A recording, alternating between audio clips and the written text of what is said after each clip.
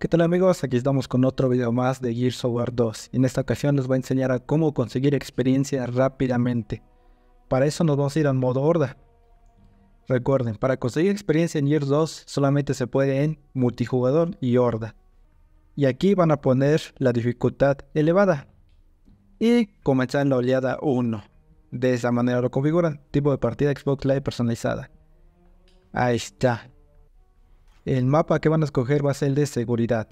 Este mapa escogen, ese tiene que ser. Y el personaje el que ustedes quieran. Iniciamos la partida. Como se pueden dar cuenta, tengo la Lancer dorada. En la descripción de este video les dejo una lista de reproducción de videos de Gears of War 2. Entre esos videos tienen uno cómo conseguir la Lancer dorada. Entonces lo que tenemos que hacer ahora es esperar que salgan los enemigos.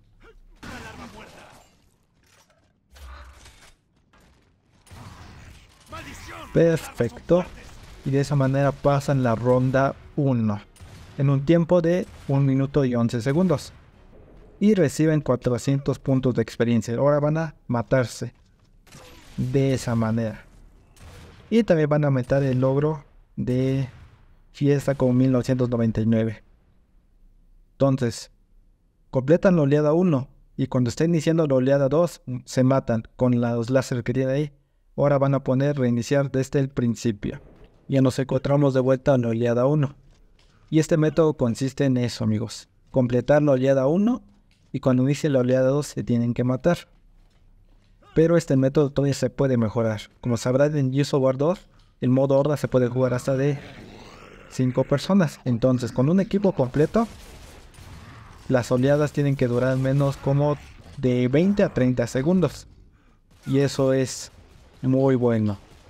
En los comentarios de este video pueden dejar su gamer tag para formar un equipo de 5 jugadores, los que quieran conseguir rápidamente experiencia. Entonces dejen ahí su comentario, los que quieran, para apoyarnos y de esa manera conseguir rápidamente experiencia en este juego.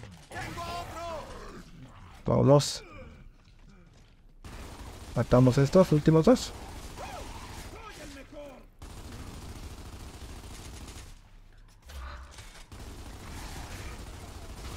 Ahí está, lo completamos.